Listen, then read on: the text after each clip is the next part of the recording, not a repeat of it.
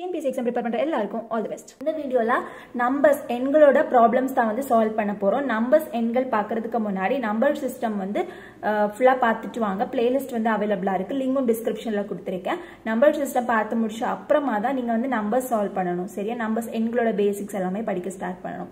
ஒரு ஆர்டரில் வந்து படிச்சுட்டு வாங்க. கண்டிப்பாக வந்து உங்களாலையும் டிஎன்பிஎஸ்சி எக்ஸாமில் வெற்றி பெற முடியும்.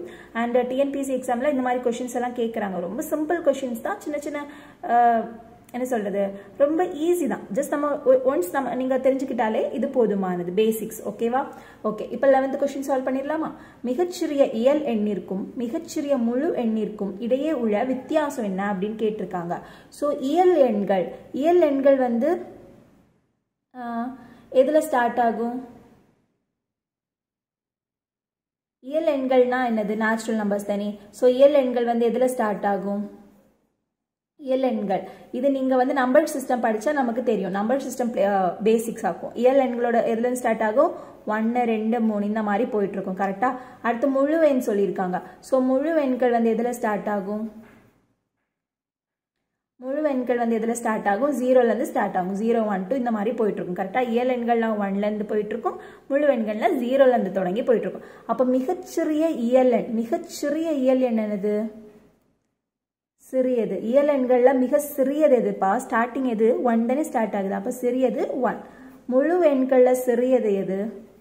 எதுல ஸ்டார்ட் ஆகுது? ஜீரோ தானே. அப்ப ஜீரோ தானே சின்னது. இப்ப என்ன கேட்குறாங்க அதுக்கு இடையே உள்ள வித்தியாசம் கேட்டிருக்காங்க. அப்போ ஒன்னுக்கும் அந்த ஜீரோ தானே பண்ணணும். அப்போ ஒன் மைனஸ் ஜீரோ என்னது? ஒன் கரெக்டா இயல் எண்கள்ல சிறுசு ஒன்னு முழு எண்கள்ல சிறியது ஜீரோ அப்ப ரெண்டோட வித்தியாசம். ஒன்ல ஜீரோ போச்சுன்னா நமக்கு ஒன் தான்.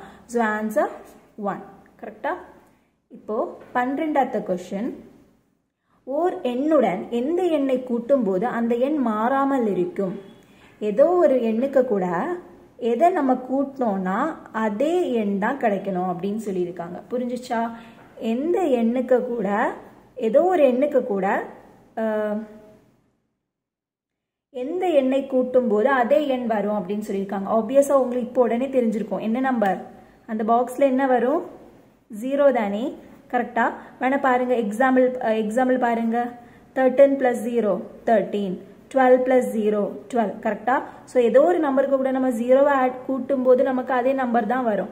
இப்போ ஐம்பத்தி மூணு ப்ளஸ் ஜீரோ எத்தனை?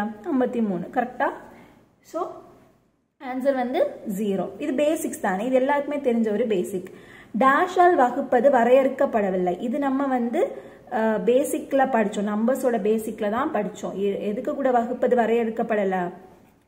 ஜீரோ கரெக்டா நமக்கு இந்த மாதிரி கீழே. ஓகே பகுதியில் வந்து ஜீரோ வாரது வந்து இன்னும் வரையறுக்கப்படலை சரியா? அப்போ வந்து இந்த மாதிரி போடும்போது நம்மளால் டிவைட் பண்ண முடியாது. அது இன்ஃபினிட்டி ஸோ கீழே ஜீரோ வரும்போது நமக்கு அது வரையறுக்கப்படவில்லை. ஸோ எதால் வகுப்பது வரையறுக்கப்படலை? ஜீரோ கீழே வந்து பூஜ்ஜியம் இருந்துச்சுன்னா அது வந்து தப்பு தப்பு தப்பு. ஓகேவா கீழே இந்த மாதிரி ஜீரோ இருக்கக்கூடாது. சரியா? இப்போ பதினாலாவது கொஷின் ஐம்பத்தி மூணு ப்ளஸ் நாற்பத்தொம்போது இன்டு ஜீரோ என்னன்னு கேட்டிருக்காங்க. ஸோ ஆப்வியஸாக நமக்கு தெரியும் போர்ட் மாஸ் ரூல் படி ஃபர்ஸ்ட் நம்ம பிராக்கெட் சால்வ் பண்ணணும். கரெக்டாக அப்போ ஐம்பத்தி மூணு ப்ளஸ் நாற்பத்தொம்போது எத்தனை? நூற்றி ரெண்டு இன்டு ஜீரோ ஆப்வியஸாக மல்டிப்ளை பண்ணால் என்ன தான் கிடைக்க போகுது? ஜீரோ தான். சரியா? சம்திங் இன்டு ஜீரோவே ஜீரோ தான். சரியா? நம்ம பூஜ்ஜியம் கூட பெருக்கிறோம் அப்படின்னா ஆப்வியஸாக அது பூஜ்ஜியம் வரணும் நமக்கு தெரியும். ஆன்சர் பி பதினஞ்சாவது கொஸ்டின் பத்தொன்பது பை ஒன் என்னன்னு கேட்டிருக்காங்க. ஆப்வியஸாக இப்போ எல்லாருமே ஆன்சர் டக்குன்னு சொல்லியிருப்பீங்களே.